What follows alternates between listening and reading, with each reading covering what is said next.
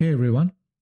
Today we'll talk about out of band application security testing, also called OAST for short. To better understand this, let's go through this hypothetical scenario. You are a security researcher who's tasked with hacking a target website. After careful analysis, you identify vulnerabilities in the target. In order to exploit them, you send it a malicious payload. Since the target is in fact vulnerable, your exploit works and the target responds with sensitive information. Being an ethical hacker that you are, you inform the stakeholders about this issue. However, instead of fixing the vulnerability, they apply an infrastructure patch in such a way that when you send it a malicious payload, you get a normal response. Since the target is still vulnerable, the challenge here is to perform exploitation. So in order to do that, you need to introduce an external service. This could either be a managed endpoint provided by a third party or your own server that could handle incoming requests. Once in place, you can now send a maliciously crafted payload which will force the target to send sensitive information to your external endpoint, even though you get a normal response to your original request. The request to this external endpoint can be DNS, HTTP, or SMTP. Since you do not get the output of the vulnerability in the direct response to the vulnerable request, these vulnerabilities are called blind vulnerabilities and can range from SQL injections to cross-site scripting. This way of testing blind vulnerabilities using external servers is called out-of-band application security testing. So now you know what OAST is, but how would you create your own external out-of-band endpoint?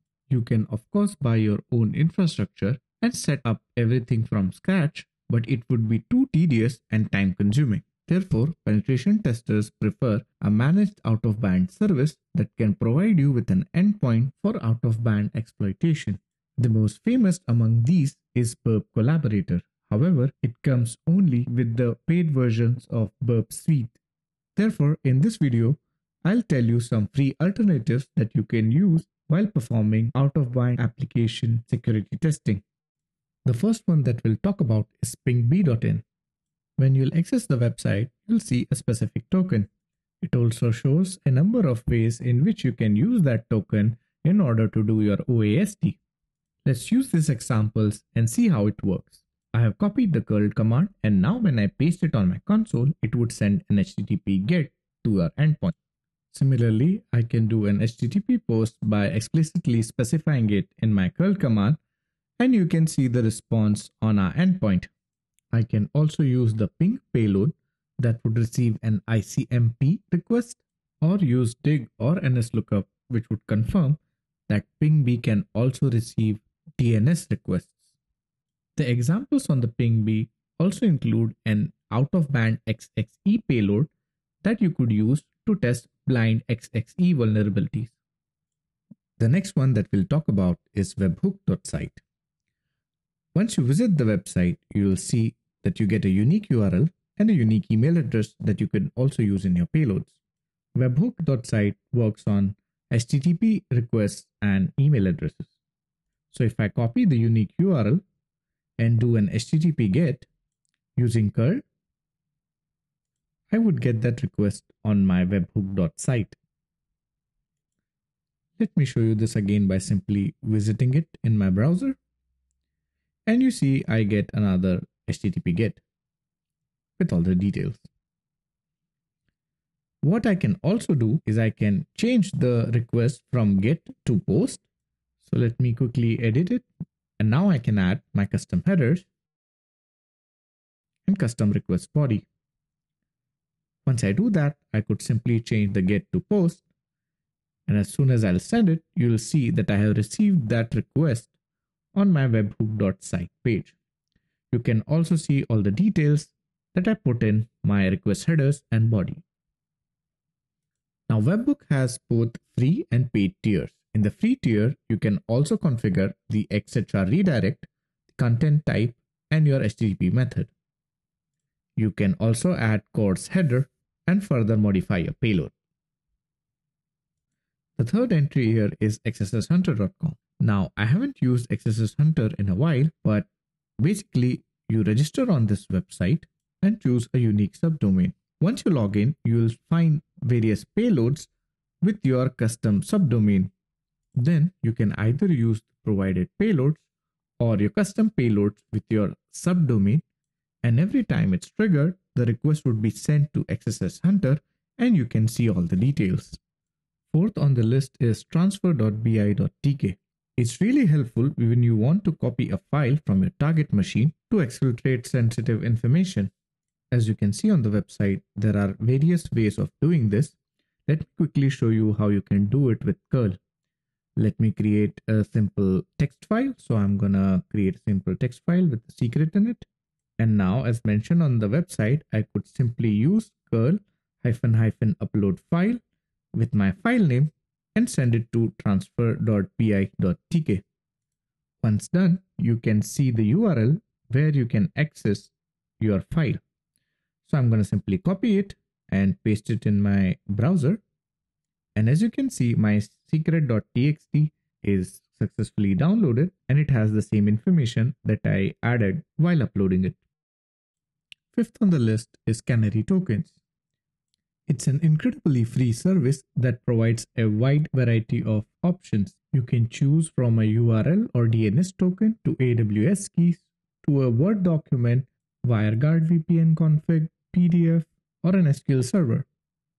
Basically, any attack vector that you can think of is available at Canary Tokens. Once you select an option, you can provide your email address and a custom message. Anytime your specified document is uploaded or token is used, you will get an email in case the target is vulnerable.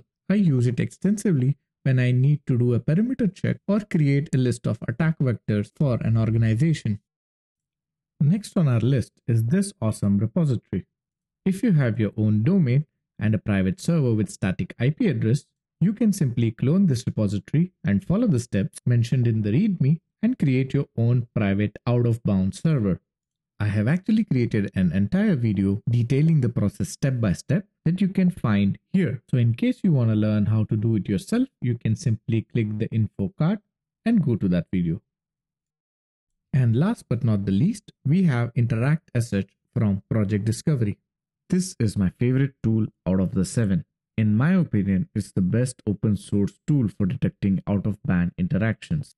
It has a wide variety of features, supports HTTP, SMTP, LDAP, as well as DNS interactions, has a CLI, has a web, has a burp add-on, as well as a ZAP add-on, supports AES encryption with zero login, and even has a notification feature. Honestly, I can make an entire video about Interact SH. But for the purpose of this video, we'll just focus on the web client and see how we can use Interact SH to exfiltrate out of band requests. So let me quickly open the Interact SH web client. And now as you can see the web client is open and we have this custom URL. By clicking there I have copied it so let me paste it and now I can use this URL in my payloads to send data and that data will go to this specific Interact SH web client. So let's test it. Let me quickly curl it and as soon as I curl it, you can clearly see that the web client has received DNS and HTTP requests. If I click on them, I can see all the details, including a timestamp, which would tell me which exactly is this request. So there you have it, an overview of out-of-band application security testing and the free tools that you can use in order to perform it. I hope you got to learn something new from this video. And since there is already a request I will make another video just for Interact SH, but that would be specific to OWASP ZAP and its add-on only. If you want me to make with Burp Suite, then please let me know and I'll try to include it in the same video. Thanks for watching and I'll see you in the next one.